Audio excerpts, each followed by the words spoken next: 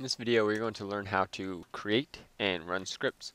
So here in Fusion 360 in this toolbar in the add-ins if you drop down and click scripts and add-ins it, it, pulls up this dialog box and we have a section for scripts as well as add-ins which we'll learn in later labs. So right now we're just going to focus on scripts.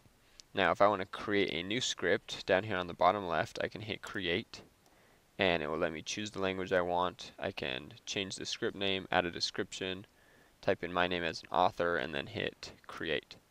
As I can see, it's it's now populated there, so I have new script 5, and I can either run it straight from here, or I can edit it. So let's go ahead and edit it right now. If I edit it, it's actually going to open up in Spyder. Now, if you haven't opened Spyder yet, as soon as I hit edit, it's actually going to download and install Spyder. And so now that I open up Spyder, this is my script. This is new script 5, and I could go in here, here and change it.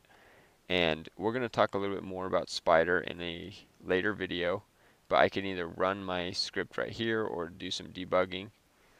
Or if I go back here, like I said, we can open up this dialog box again and we can run it straight from here. So if I do new script 5 and run, this is just the default script. It just says hello script. So let's run uh, one that will actually create a pulley for us. Or uh, So let's generate a pulley. We can see that it creates that for us. But a couple other things that to discuss are if we already have a script created, we can add them here using the green button. So if you open that, then you can go in and find the file that you've already created somewhere else and import it there or you can also delete them out by using a remove or open file location as well. But that's the basic background into creating and running scripts.